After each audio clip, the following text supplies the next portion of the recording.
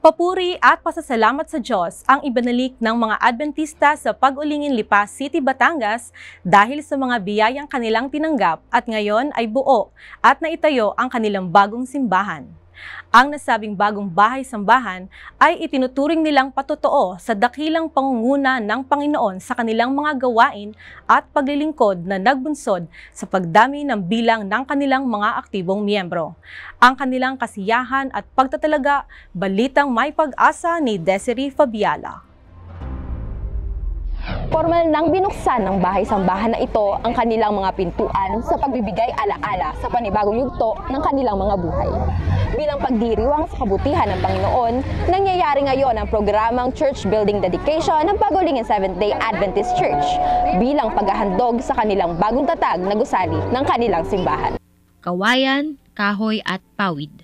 Kung noon ang bahay-sambahan ay naiilawan lamang ng kulman at mga lampara, ngayon ang Pagulingin Seventh-day Adventist Church ay naliliwanagan ng mga makikinang na ilaw mula sa nag-aapoy na pananampalataya ng mga kapatiran.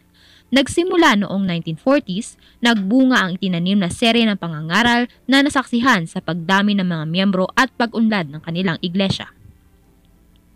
Ngayon, nasaksihan ang pagpupuri ng mga kapatiran sa pamamagitan ng pagdadaos ng dedication ceremony na napuno ng mga makalangit na musika at mga mensahe ng pagpapasalamat. Nasaksihan ng pamilya ng mga tagapanguna ang pag-unlad ng kanilang pananampalataya mula sa mga aktibidades at estruktura sa pamamagitan din ng espiritual na paggabay ng Panginoon. Uh, purihin natin ang Diyos sapagkat uh, siya ay naging napakabuti sa iglesyang ito sa katauhan ng aming lolo. Uh, sa tulong ng Diyos, sa pamagitan ng Santong Espiritu ay ginamit siya na magpasimula ng pangangaral hanggang sa lumago ng lumago ang ating iglesia dito sa Pagulingin sa pangunguna ng banal na espiritu. Sa lumalaking bilang ng mga mananampalataya sa Pagulingin Lipa City, minabuti naman ang pamunuan ng simbahan na simula ng pagtatayo ng panibagong edipisyo upang matugunan ang pangangailangan ng mga kapatiran sa espasyo tuwing magkakaroon ng pagsamba. Isinaayos din ang mga pasilidad, kagamitan at equipment ng simbahan sa mas mabuting karanasan ng pagsamba. Ang uh, Pag-ulingin Church po ay uh, dumating sa punto na uh, dumami po ang uh, bilang ng mga kapatid. So tuwing Sabat po ay halos kalhati po ng mga miyembro ay nasa labas ng church. Itong ating church na bagong itinayo ay ang capacity nito ay nasa 300 ng mga kapatid. So, salamat sa Diyos. Bukod pa rito, sa panahon ng pandemya, sunod-sunod ang mga aktibidad ng simbahan upang kumonekta sa mga miyembro at teritoryo nito.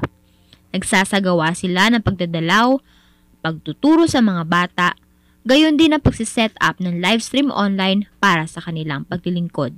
Sa pagdedeklara naman ng konferensya ng South Central Luzon sa Bahay Sambahan bilang isang opisyal na gusaling laan para sa pagsamba at paglilingkod, naging pagpapala sa karamihan ang pagsasagawa ng seremonya dahil ito ay tanda ng patuloy na paglago ng pananampalatayang itinanim. Sumibol at lumaki sa kabutihan ng Panginoon. Purihin natin at pasalamatan natin ang Panginoon sapagkat kung hindi dahil sa kanyang biyaya at kung hindi dahil sa kanyang kahabagan sa atin ay hindi tayo magkakaroon ng bahay sambahan na kagaya po nito. May nagtatayo sa pamamagitan ng ginto, pilak at mahalagang bato. Ngunit ang gusali na ang pundasyon ay walang iba kundi si Kristo ay tiyak na hindi matitinag.